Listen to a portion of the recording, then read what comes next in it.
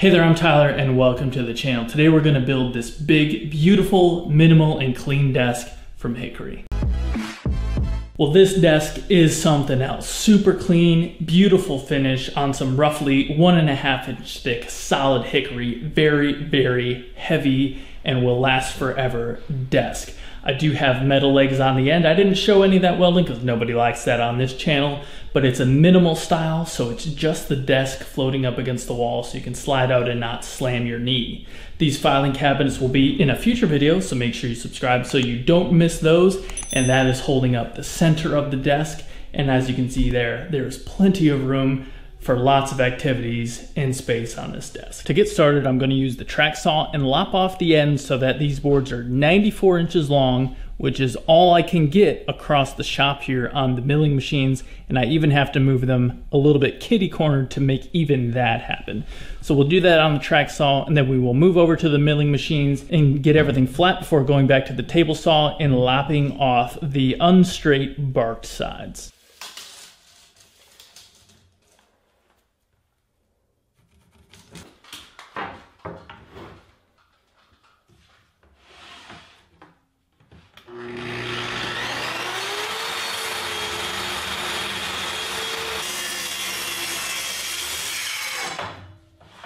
As you can see here, we got one end of this slab significantly larger than the other, which would be great if I wanted the bark and the live edge look on here, but we want a more structured, uniform looking desk. I'm gonna use a track saw and lop off this uneven side here, and that'll give us two straight edges to work with.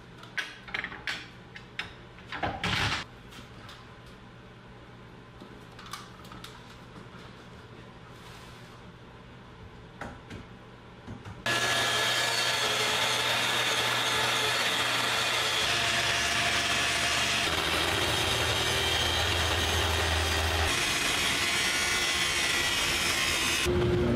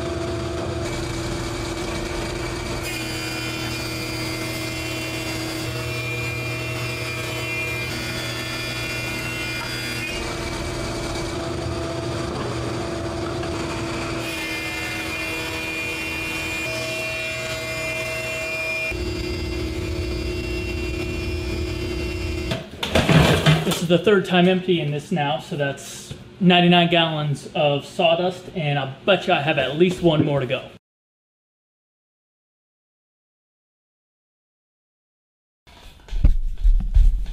At this point, the boards have rested for a couple of days. There are two boards that have a slight bow to them. The plan is if I oppose those bows, it should flatten everything out in conjunction with the metal legs and the support brackets that are gonna go underneath this everything should stay flat. Now we're gonna go over to the table saw and make sure we have two sides that have a glue line rip on them, and then we're gonna glue this panel up. I'm going to change my blades from a 50 tooth combination to a 30 tooth glue line rip, and this will give us a much cleaner cut and it will be easier on the saw.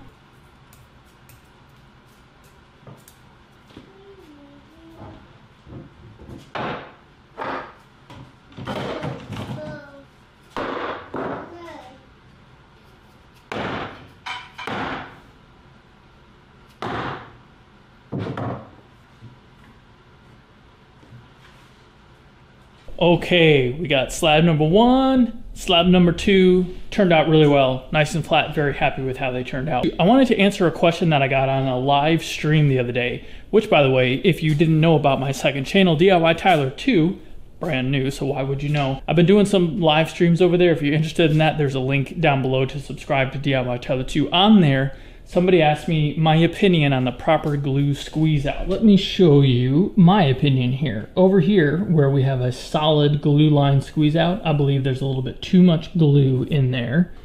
Whereas on this side, where you got droplets of glue squeezed out after the clamp up, is about perfect.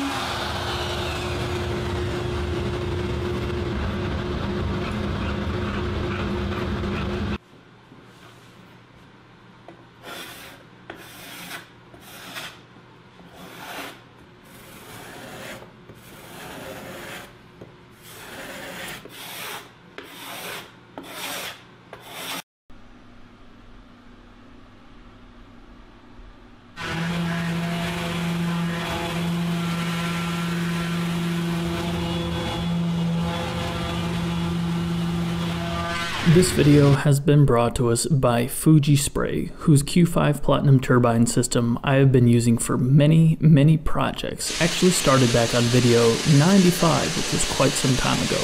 I have the Q5 Platinum turbine, and I have two of their high quality guns, the T70, which I'm using right now, and the T75G, which is a gravity fed HVLP gun.